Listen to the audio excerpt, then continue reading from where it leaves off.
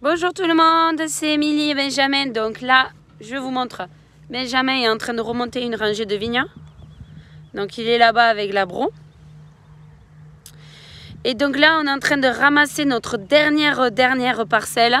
Bon, dernière, elle n'est pas toute petite quand même. Hein. Euh, elle fait 5 hectares 36.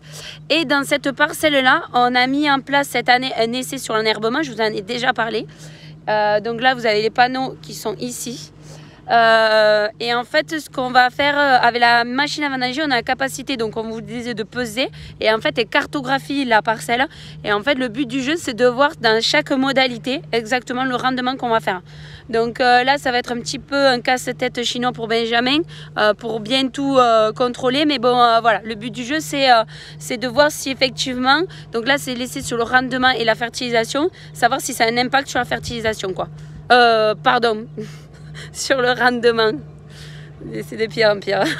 donc euh, voilà, donc là il va faire la modalité euh, travail du sol.